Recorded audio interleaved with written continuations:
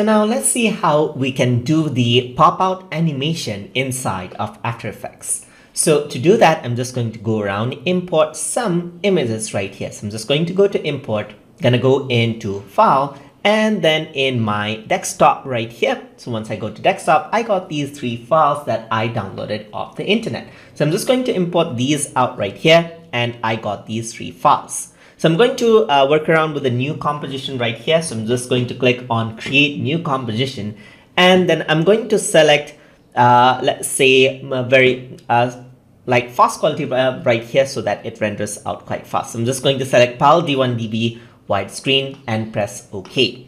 So I'm just going to bring uh, these things around. So I'm just going to bring around uh, let's say this coffee right here, just like this. So this is the coffee that we're going to be animating and this is the beans that is going to pop out of the coffee right there. So what I'm going to do is I'm going to resize the beans right here. I'm holding shift so it does not actually distort out. So just like this, what I want is I want the coffee beans to pop up and go down just like this as uh, this as this coffee is here. So now I'm going to do the basic animation first before I apply on the masking. So I'm just going to go around over here, press P on my keyboard to get out the position. So I want the animation to start around over here in one second. So I'm just going to add in position keyframe, go around right over here onto two seconds and then uh, get this around. I'm going, going to hold shift so that it pops out just like this. Now over here and then over here on three seconds it just goes back down again right here. Let's see how the animation is now. So it actually goes up and then goes down goes down just like that. So now what i'm going to do is add an ease into this. I'm going to add an easy ease and then i'm going to add an easy ease out right here and easy ease in right here. So let's just see how the animation looks like now. So it is much more smoother go into the graphs. I'm just going to go onto the graph editor, go on to the position and work around with the graph right here. So I want easy ease right over here. So I want this kind of an animation just like this right here, as you can see. I'm going to smoothen this out just like that over here as well. So I have two pointy things right here just like that. So as I go around, you can see that that is how it actually animates out much more dynamic right over here. So you can of course add in rotation as well. So let's say over here, uh, let me just go around. Let me add in a rotation as well. So let me just go around into rotation and then turn off the graph right here. And I just want to see everything. So I'm just going to turn that off and then uh, expand all of these out right here. So I want the keyframe to be exact right here. So I'm just going to go around right here. I'm to go to rotation and then I want one full rotation. So I'm just going to go around. So this is quite optional uh, when it comes to rotation. So I'm just going to have one round and let's see how that looks like. So it actually looks like that. And I'm going to have an easy ease out right here. So easy ease out and easy ease in right here. So first of all, we have to work around with the animation and then go around onto the graph editor again and manage that out just like this. Pull this out over here and then you have this. So you have jump and it flips out just like this. So on the air, the coffee beans just flips out right over here, just like that. You can see that as it goes onto the air, it's quite faster. So we got our basic animation that we want to pop out right there, just like this. So now what we want to do is, let's say, let's play around uh, with scale a bit as well. So we're going to go on to the exact thing right here. Gonna go on to scale, gonna go on uh, at the center just like this, and then expand this out a bit so that it seems like 3D right over here. It's coming on the front and then we're going to go out over here on the end and then we're going to scale it back down just like this. Not that it matters, but anyways, it uh, just expands it out over here on the center as you can see. So it's small and it expands out and then it just goes down right here. So let me just expand this out right here just like that and go down right here just like that. So now what I'm going to do is I'm going to add in an ease out right here. So let's go, just go out right here, ease out, and then this is going to ease in again, just like this. So it just expands out right over there. And then just go out right here, there's the scale, just pull that in right over there. So pulling out and working with the graph is very important to make the animation much more smoother. So if I were to go over here, you can see that that is how it looks like now. So now it's time to make the reveal right here. So I'm just going to apply a mask right here. And to do that, what I need to do is, first of all, I, I want to trim this out. maybe around to four seconds, just like that, because that's the only amount of animation I need. So just trim to come area right here.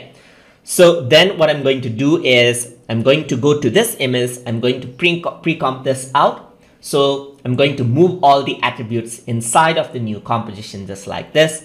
And then now I can just mask this out. So everything, all the animation is inside this composition. So let's just go inside right here and then use the masking tool right here. So I just need to uh, trace this part out right here. Just trace this part out, drag that in right here, just like that. Okay, so I have the roto bezier on. I don't want the roto bezier. I want the regular bezier. So just go around onto this composition right here, click and drag it out right here and just mask that portion out right over here, just like this. Just mask this portion out and zoom back out and the shape can be anything that you want, just like this. So now what happens is that only that portion is zoomed in and the coffee beans now seems as if it is coming out of the mug right there, just like that. So you can see that this is the animation now. All right, so once you do that, now we have our uh, composition of the beans ready right here. So this is the composition. We can simply create a new composition right here. So composition 2. And then what we're going to do is bring in a background to make it a bit more interesting. So let me just scale this out right here, just like this.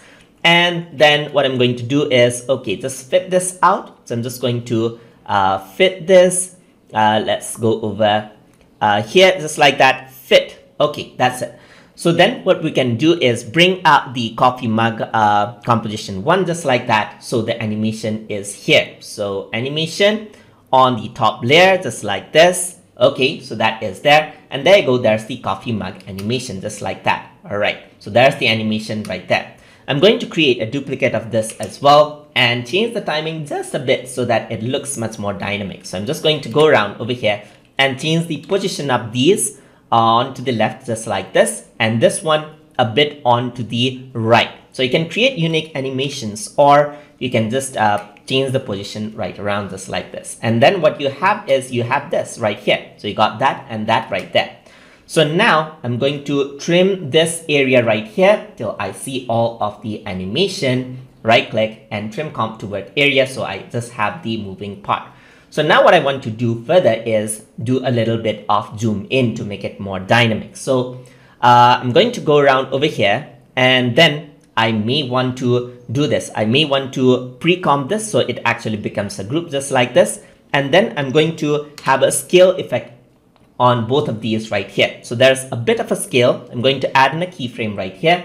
It just goes in right here. This scales out just like that. Um, the coffee beans scale out and uh, more just like that. And the background scales a bit less uh, compared to the coffee beans, goes back right here, and the background scales out just like this, and the coffee beans scale out way more further. So now you have a zoom in effect right over there as well, and you can see that the background and the uh, speed of the uh, zoom in is different for both, so it kind of looks much more dynamic, right? just like that. So let me just scale out the coffee beans a bit more, just like this. And then of course I need to add in an ease out as well. So I need to go on to the coffee beans. So let me just zoom this in a bit more so that it looks much more dynamic.